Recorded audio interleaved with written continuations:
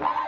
The First Nations Goannas have been presented with their playing jerseys by the country's first Indigenous Rugby League Test player, Lionel Morgan, on the eve of their showpiece clash with the Newcastle Knights at Hunter Stadium. ARL Commissioner Dr Chris Sarra joined Morgan on stage for the special presentation at the Free Community Festival event at Newcastle's Sports Ground 2.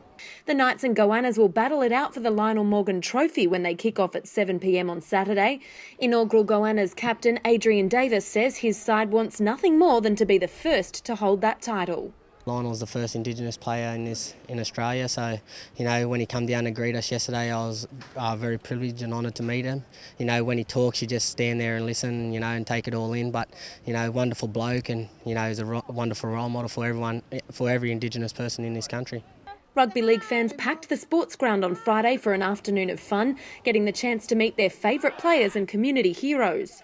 The afternoon included junior and senior rugby league matches, kids' skills clinics, one community ambassador appearances, and local stalls. Well, it's about promoting to our community to make a healthy choice, and it's about well, our mob's always been passionate about rugby league and sport, so this is a great vehicle for us to get behind and really promote health promotion and making good, healthy choices.